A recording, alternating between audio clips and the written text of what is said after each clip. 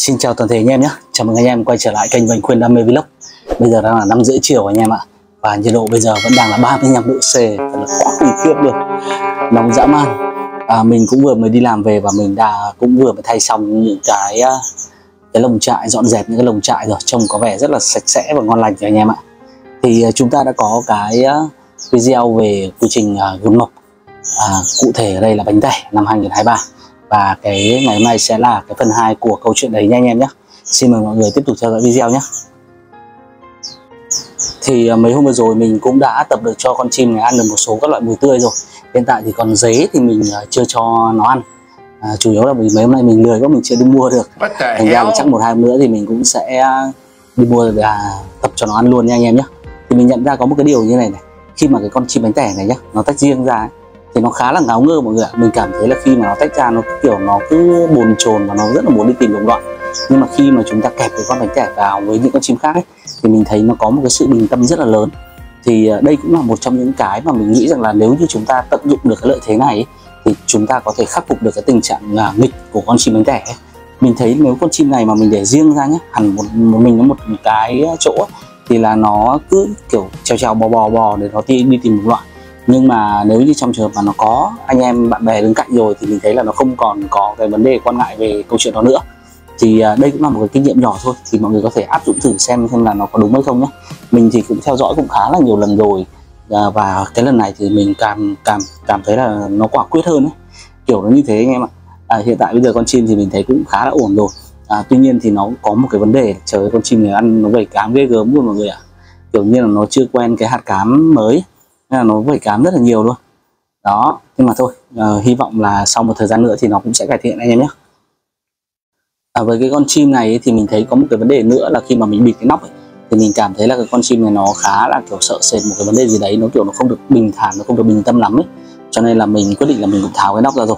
Mình cũng sẽ chấp nhận là nếu như nó có thất lỗi thì nó cũng sẽ phát sinh nhưng mà về cơ bản là khi mà mình kẹp những con chim bên cạnh vào mình không thể nó có thất ờ, nhiều lắm thực ra như ở trên màn hình thì mọi người thấy có một mình nó thôi nhưng mà còn hai con chim nữa của mình là đang ở bên góc bên tay trái.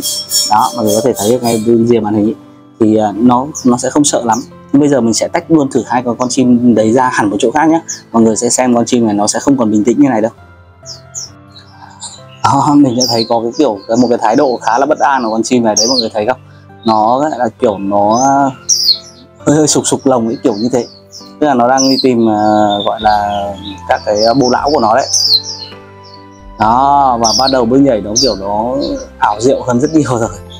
Đấy. và mọi người sẽ thấy là nó sẽ ngoái nhá nó sẽ ngoái để nó tìm đấy. Đó. Đấy mọi người thấy không?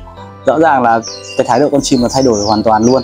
Nên là à, mình nghĩ rằng là với những bạn mà con chim đến thẻ thì các bạn nên kẹp con chim này vào những cái con chim mà đã từng nuôi ở nhà các bạn nhé và nếu như những con chim đó là những con chim thuần ý, thì bọn bánh tẻ này nó sẽ thuần rất là nhanh này. Bởi vì bọn khuyên ý, thì nó có một cái đặc điểm là nó à, học từ đồng loại cực kỳ là nhanh luôn mọi người ạ. Đấy. Thái độ là nhớn nhác để đi tìm rồi. Đấy và không còn bình tĩnh nữa. Đó đây là một cái quan sát khá là nhỏ thôi. Mọi người có thể là căn cứ vào đó để mọi người tìm một cái cách nào đó để thuần dưỡng cũng như để gọi con chim bánh tẻ nhé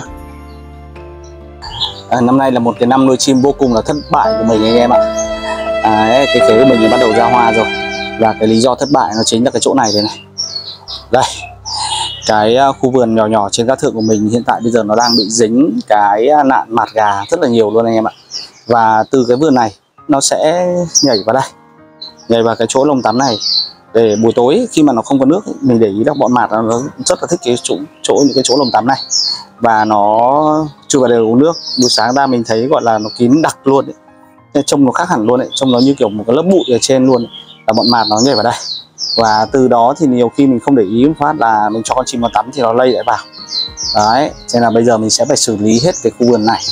À, mình sẽ mua một cái loại uh, dung dịch uh, diệt côn trùng để mình xử lý anh em nhé. À, bữa trước mình cũng nhận được một cái câu hỏi uh, của một bạn khán giả xem kênh là cái con chim bánh tẻ thì khi nào mà nó mới đỡ nghịch ấy?